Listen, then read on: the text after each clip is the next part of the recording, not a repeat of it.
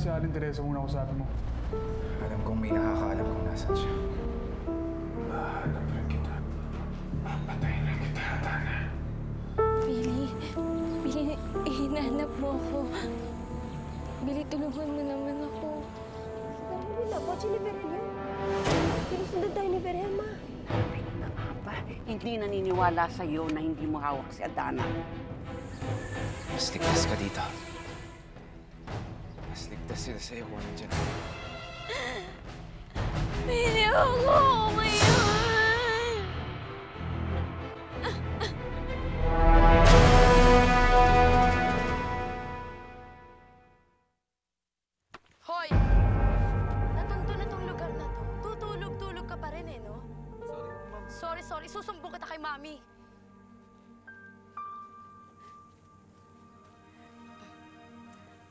Adana.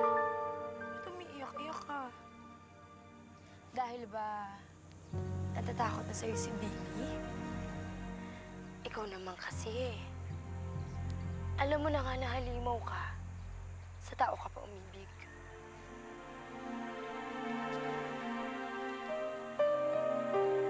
Alam mo, Veronica, tama ka naman eh. Sana hindi na lang ako nagmahal.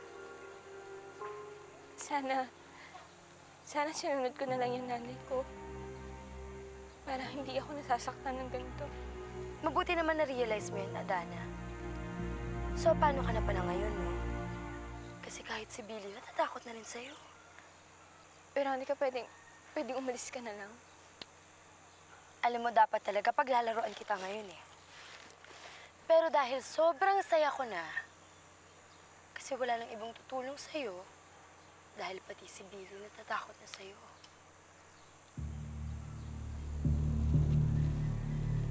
Sabi ko, umalis ka na lang! Kahit anong gawin mo, hindi ka makakawala dyan.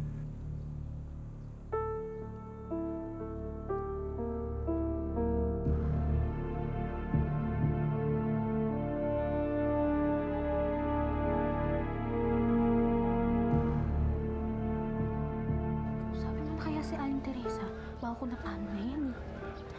Kilala ko si Aling Teresa, Wayne. Lakas ang loob niyan. Hindi siya basta-basta bibigay. Sana naman, Joma. Sa lahat siguro ng problema pinagdaanan nila ni Adana, ito na siguro yung pinamatindi. Aling Teresa, saan ko kayo pupunta? Hindi ako matatahimik, Joma, hanggat hindi ko nakikita si Adana. Pero saan niyo hahanapin ang anak niyo? Si Zoe lang nakakita kay, kay Adana. May kutob ako na, na may nalalaman pa rin si Zoila kung nasa ng anak ko. Kailangan ko makita si Adana. Hindi ako matatahimik.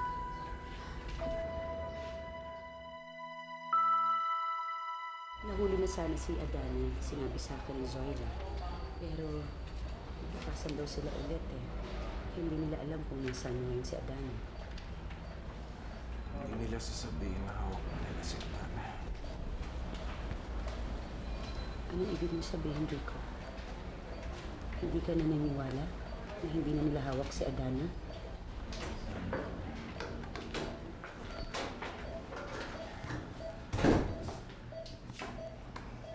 Kamusta ka na, Dad? Okay ka na ba?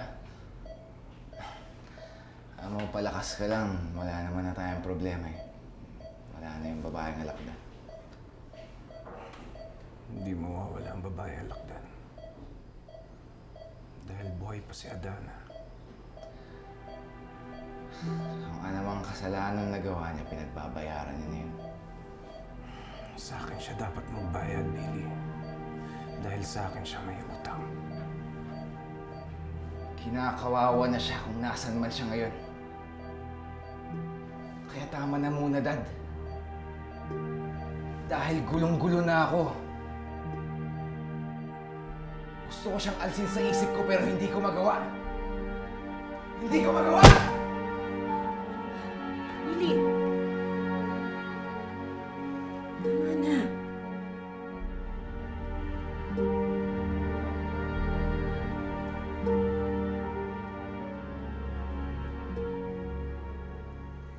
Dapat na bakit ang kalimutan Billy?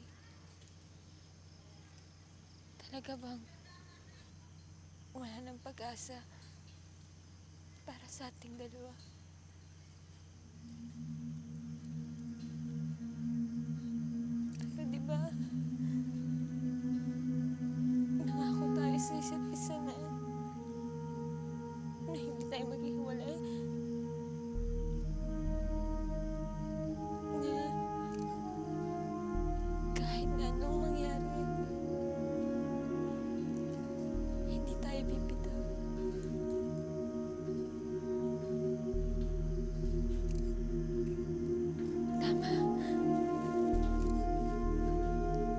Dapat hindi ako bumitaw. Alam ko, sa ngayon naguguluhan pa si Billy. Pero alam ko, balang araw, may intindihan niya rin ako.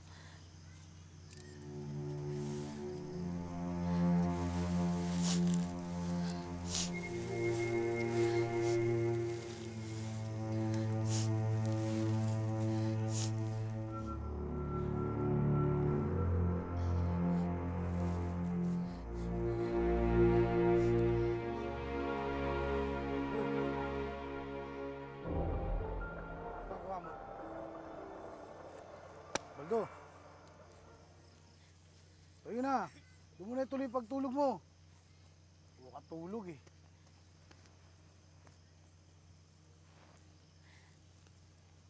Kuya, kuya, pwedeng tanggalin tong sa paa ko. Kasi ang hapdi-hapdi na nasasaktan na po ako eh. Para ano? Para tumakas ka? Huwag mo akong lansin ha. Kuya, kuya, hindi naman po ako tatakas eh. Sige na ho, kuya, kahit sa paalam. Sige. Pagbibigyan kita ha. Pero sa paa lang ha. Huwag mo akong tatakasan. Apo. Hindi, puputulin ko yung bundot mo. Salamat, kuya. Pasalamat ka. Maganda mood ko ngayon.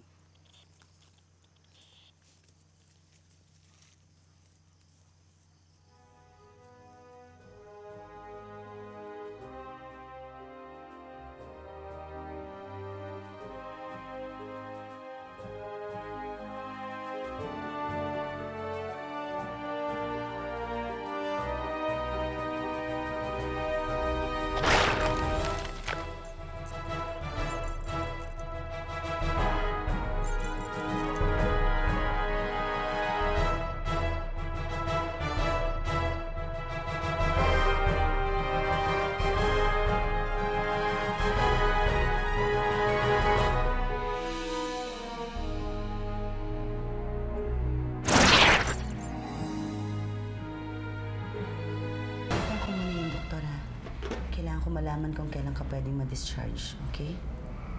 Sige, Glenda. Sandali lang. May kailangan ka pa ba?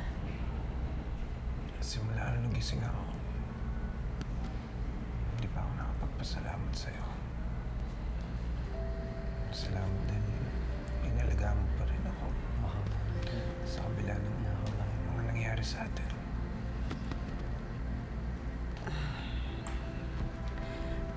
natin pag-usapan yan.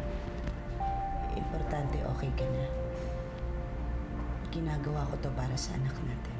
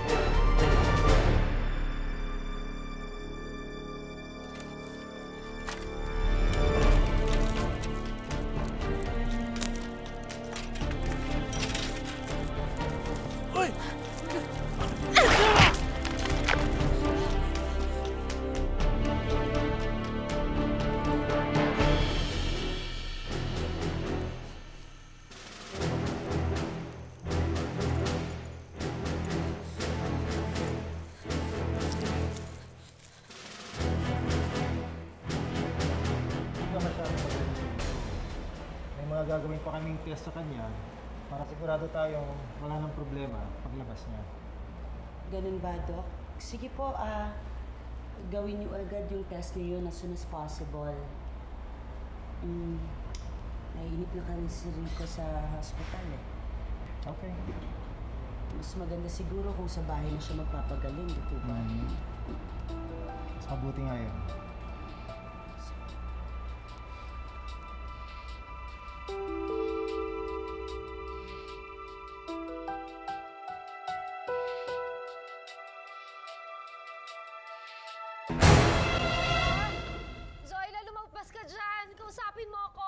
Mrs. huwag kang mag-iskandalo dito. Huwag kang makialam. Kailangan ko makausap si Zoila. Zoila! Zoila! Kausapin mo ako! Zoila! Nakikiusap ako sa'yo. Kausapin mo ako! Ano nangyayari dyan? Siyasa na ma'am, ang kulit mo eh. Si Berhel, wala rito. Di ba sinabi ko na sa'yo, tigilan mo lang paglalandi dyan sa asawa ko? Hindi ko kailangan si Berhel. Sayong sayo na siya, Zoila. Ang gusto ko yung anak ko. Alam ko na alam mo kung nasan si Adana. Dalhin mo ako sa kanya, parang awa mo na. Hindi nga ba't nakatakas? Hindi ako naniniwala na pinatakas mo siya. Nakikiusap ako sa'yo, Zoila. Dalhin mo ako sa anak ko. Gagawin ko ang lahat. Balik mo lang sa akin ang anak ko. Nakikiusap ako sa'yo, parang awa mo na. Gagawin ko lahat. Talaga? Gagawin mo ang lahat? Sige, lumuhod ka.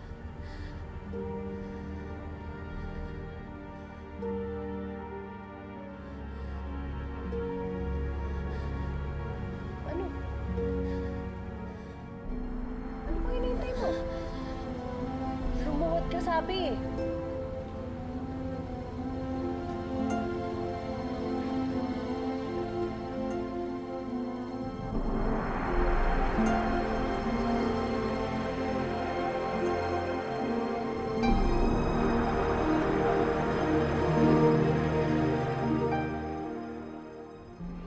Say hindi pa makakalabas si Dad? Hindi pa eh. Maghihintay pa daw tayo ng ilang panahon. Bago siya payagang makalabas.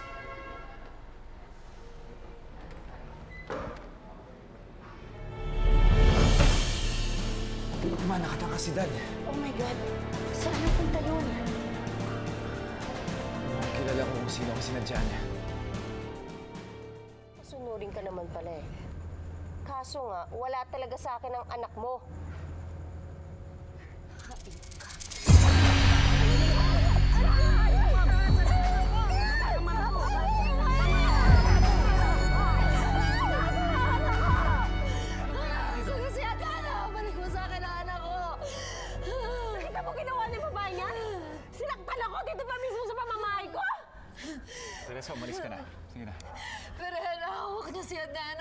Maniwala ka sa akin. Hawak niya ang anak natin. Ibalik mo sa akin ang anak ko! Nakataka si Adana. Pareho tayo naghahanap. Pero sasaktan lang ni Zoila si Adana. Maniwala ka sa akin. Napakawalang iya mo. Napakasama mo. Nararamdaman ko. Hawak niya si Adana. Teresa, umalis ka na. Berhen, maniwala ka sa akin. Maniwala. Berhen, maniwala ka sa akin. Mama, halika na po. Walang iya ka! Na po. Ibalik mo sa akin ang anak ko! Berhen, maniwala ka sa akin! Balik mo sa akin ang anak ko! Bitawan mo ako! Walang iya kayo!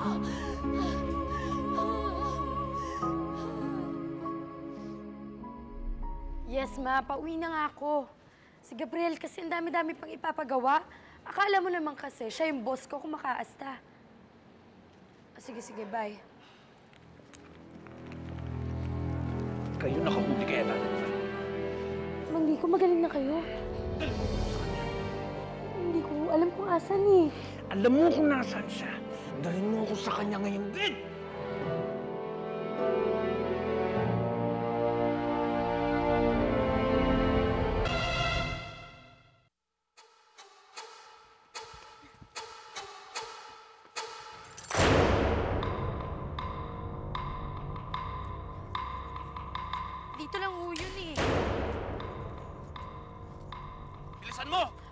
binibilis na na nga ho. Ata na na yun. Eh, grabe naman pala kayo magalit eh. Ako lang dapat amuhuli sa kanya eh. Pero mabuti na rin. Di, Napadali dito, eh. ang pag